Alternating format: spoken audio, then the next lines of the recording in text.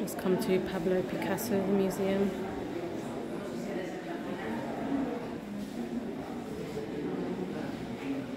These are some of his paintings.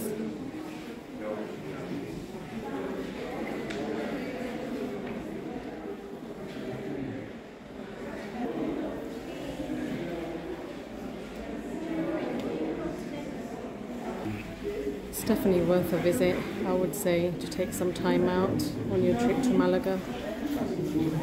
Entrance is free on a Sunday.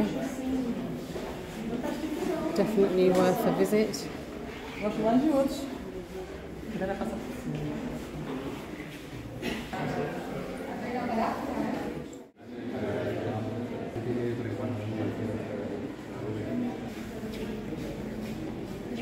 Some lovely paintings.